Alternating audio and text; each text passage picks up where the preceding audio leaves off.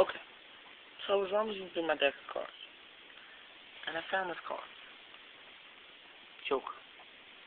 Black and white, old school Joker. Like, oh, it's ugly. I was like, I gotta change that. So I did.